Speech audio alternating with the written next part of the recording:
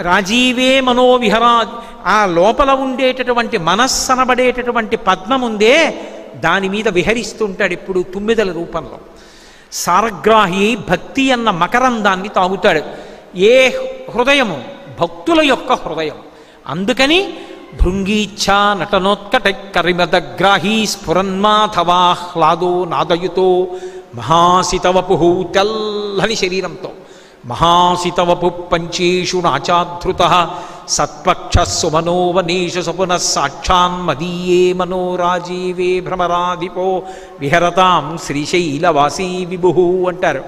భక్తుల యొక్క హృదయ కమలముల ఎందు విహరించేటటువంటి వాడు కాబట్టి ఆయన త్యాగరాజ అయ్యాడు. కాదు కాదు.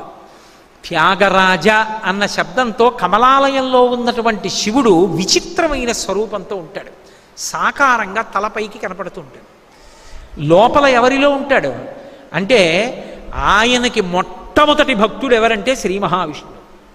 విష్ణువు యొక్క హృదయంలో ఉంటాడు. అందుకే తిరువారూరులో ఉండేటటువంటి త్యాగరాజస్వామి జపతాండవం చేస్తాడు. చిదంబరంలో ఉండేటటువంటి నటరాజస్వామి ఆనంద తాండవం చేస్తాడు.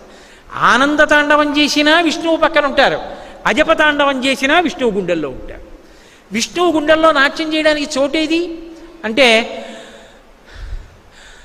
అని ఆయన ఊపిరి తీసి విడిచిపెడుతున్నప్పుడు విష్ణువు వక్షస్థలం వ్యాకోచించి సంకోచం పొందుతుంటే కుంచితపాదం అంటారు. ఎడంకాలు పైకెత్తి దింపి నాట్యం చేస్తూ ఉంటాడు. అలా చేస్తే అజపతాండవం అంటారు. అజపతాండవాన్ని హంసతాండవం అంటారు. హంసతాండవం అంటే అజప అంటే సాధారణంగా జపం చేయాలి అంటే నియమాలు ఉంటాయి అంగన్యాస కరన్యాసాలు చేసి ధ్యానశ్లోకం చేసి ఇక శరీరావయవములు కదపకూడదు. కదపకుండా కూర్చుని వెన్నుపాము నిటారుగా ఉంచి మంత్రాధిష్టాన దేవతని భ్రూమధ్యమునందు దర్శనం చేస్తూ జపం చెయ్యాలి. కానీ అజపతాండవమునందు ఏ మంత్రాన్ని ఆశ్రయించరు. అంగన్యాస కరన్యాసాలు చేయరు. ఆసనం వేసి కూర్చుని ఊపిరిని పరిశీలనం చేస్తారు. ఊపిరి ఎక్కడ బయలుదేరుతోంది? ఎలా వస్తోంది? ఎలా విడిచిపెడుతున్నాడు? మళ్ళీ ఎలా పీలుస్తున్నాడు? దాన్నే పరిశీలనం చేస్తూ పెడతారు ఊపిరి ఎక్కడ తీయడం మొదలైందో ఊపిరి ఎక్కడ అంతమవుతోందో అదే పరబ్రహ్మస్థానం. ఆ పరబ్రహ్మస్థానానికి ఆ పరిశీలనమునందు చేరిపోతాడు. అదే సహ సా అహం అహం సా సోహం సోహం ఊపిరిలో. అదే హంస జపం అంటారు అందుకే. అంటే శ్రీ మహావిష్ణువు తాను తీసి విడిచిపెడుతున్న ఊపిరిని తానే పరిశీలిస్తూ ఉంటాడు. ఆ పరిశీలన చేసినప్పుడు లోపల పరమశివుడు తాండవం చేస్తూ ఉంటాడు.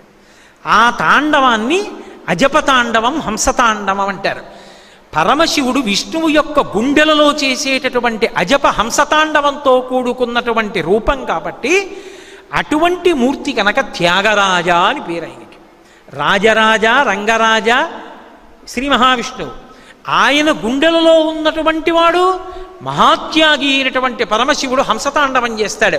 అందుకని త్యాగరాజ హంసజపంతో అజపతాండవంతో ఉన్న శివలింగ స్వరూపాన్ని చూడాలంటే ఒక్క తిరువారూరు వెళ్ళి చూడాలి.